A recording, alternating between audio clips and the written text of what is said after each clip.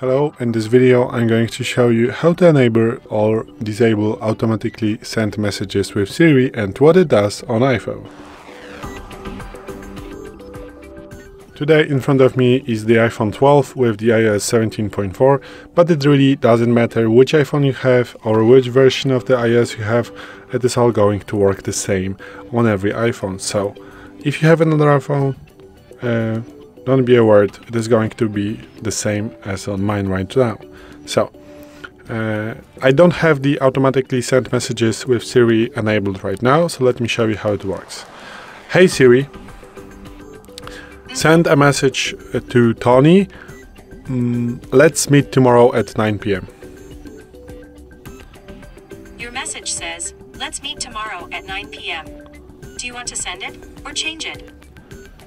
So as you can see now Siri is asking me uh, if I want to send it or change it, but uh, you don't need to uh, have the confirmation to the Siri. You can just make that it, this message is going to be sent all uh, like immediately after saying it. So Okay, Kim.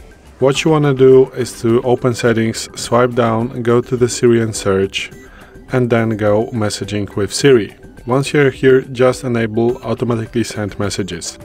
So, uh, Siri will automatically send messages unless you ask to change it or cancel. And you can also uh, enable here with the headphones or the CarPlay or you just turn can turn it off. So it means if you are going to have headphones, it is going to work. Now it is not. The same with the CarPlay. Now it is going to work now it is not going to work. So uh, let's just uh, now see if this works. Hey Siri, send message to Donny. How about tomorrow at 9 p.m.? To Domi, how about tomorrow at 5 p.m.? You can say things like, hey Siri, change it, otherwise, I'll send it.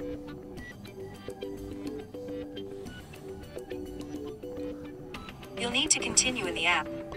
As you can see, uh, the message was sent, but I don't have the SIM card enabled right now, so it means that you know uh, this is not going to be sent. But as you could see, uh, Siri asked uh, that I can say cancel or change it, otherwise she's going to send it. And after some time, she just sent the message. If I had the SIM card on my phone right now, this message would be sent. So yeah, this is how it works. So how to get to the setting again? So open settings, swipe down, go to Siri and search, go to messaging with Siri and just enable automatically send messages. So this is it. Thanks for watching. I hope this video helped you. If it did, please leave a like and consider to subscribe to our channel. Bye.